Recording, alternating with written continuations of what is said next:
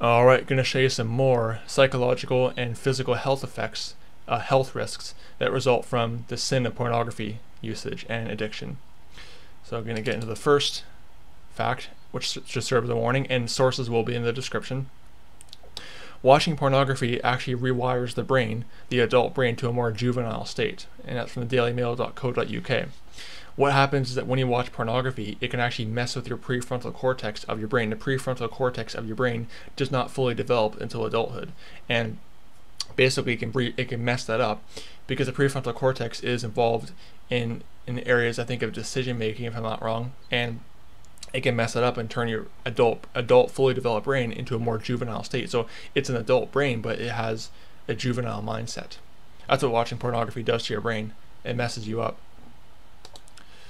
Next fact pornography use decreases satisfaction in relationships. And that's from lifesitenews.com. Basically, when you watch pornography, if you're already married, because like Jesus said in uh, Matthew, let me pull up the scripture actually. Matthew chapter 5, I think I'm not, I'm not mistaken. Because pornography is, I, I refer to it as digital fornication or digital adultery. That's all it is. Digital fornication, digital adultery. Because what did Jesus say in Matthew chapter uh, 5, verse 28. But I say unto you that whosoever looketh on a woman to lust after her hath committed adultery already, hath committed adultery with her already in his heart. So when you're looking on a woman to lust after her, you're committing adultery in your heart. That's what pornography is.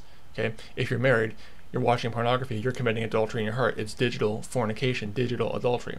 And guess what? It decreases satisfaction in your relationship, and guess what? It ends up in a divorce. Pornography does have higher divorce rates too. That's a proven fact. But you are in a relationship that God put you in, and then watching pornography messes that up. It decreases your satisfaction. Very bad. Next fact porn consumers are less likely to be concerned about human trafficking. Okay, that's from ogp.gov. And that's obviously is very true because when you're a porn con- consumer, you're basically looking at, you know, especially if it's the disgusting thing of child pornography, you're basically, it's human trafficking. It's all it is, like prostitution, pornography, all that stuff, it's human trafficking. And when you're looking at it, you become less concerned because why? You're just looking at it, so who cares? You know, it's for your entertainment. Plus, it, again, it messes with your brain too.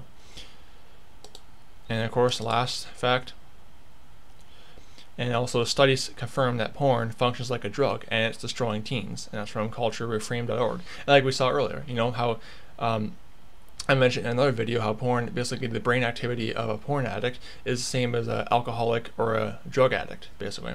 Because porn is like a drug. It functions like a drug. That's what pornography is. It's addictive like a drug. You're lusting after somebody and you just want more and more and more and it gets worse and worse and worse to the point where you're actually physically going out and doing stuff like Ted Bundy did. So those are some of the more health risks, uh, mental and psychological health risks that pornography poses to especially young men and teenagers as well. So get stay away from pornography. It will wreck your health. It's not only a sin; it's also very unhealthy, and as well as being a very wicked sin, which is the most important thing.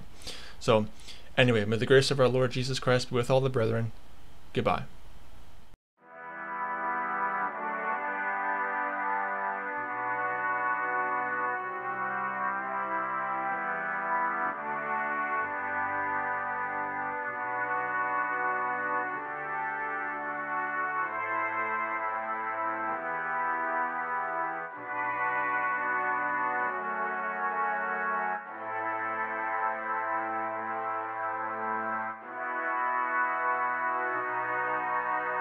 Bye.